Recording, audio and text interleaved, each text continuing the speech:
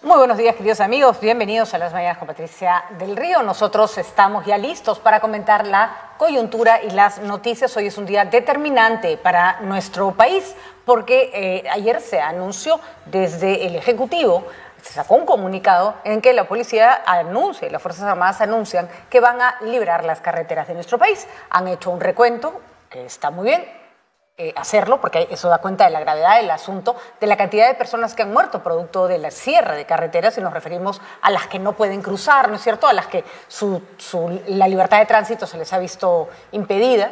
Y se ha pedido que las personas salgan voluntariamente de las carreteras porque van a tener que sacar, eh, liberarlas y si tienen que usar la fuerza, la van a utilizar.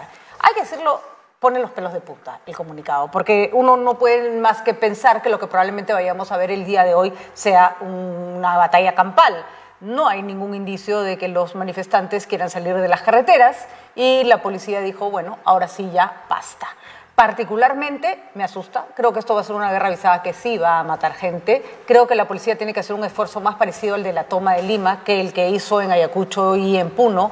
Creo que no se puede permitir que indiscriminadamente mueran tantas personas y me temo que no sé si el gobierno está en esa línea. Hemos escuchado ayer al eh, primer ministro Alberto Tarola presentarse en el programa de televisión al que no le tengo ni, en fin, lo veo, no lo veo, eso da lo mismo, pero sí es, es curioso cómo incluso el medio de comunicación el que se elige para dar una, una entrevista puede ser una provocación.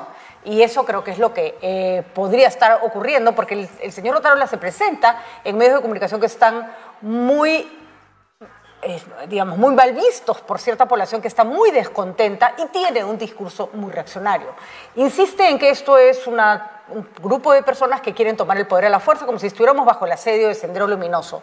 Nadie va a negar que hay un componente altísimo de delincuencia y no solo eso, creo particularmente que la gente que protestaba de buena fe se ha ido retirando y que básicamente, pero no, no únicamente, quedan muchos violentistas en la calle.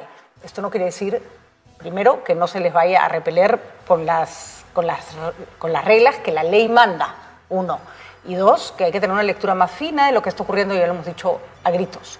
Porque si bien no todos los que, no todos los que protestan son delincuentes, hay que decirlo para, comenzar, sino hay otro punto más importante. Hay muchos que no protestan, pero que sí están de acuerdo con el fondo de la protesta. Y eso es lo que se está perdiendo de vista. Eso es lo que se está perdiendo de vista, porque no se está viendo qué cosa hay detrás de este tema. Y en el momento en que se ningunea la protesta, lo que ocurre finalmente es que este, en el momento que se ningunea la, protesta, lo que ocurre es que también se ningunea la demanda.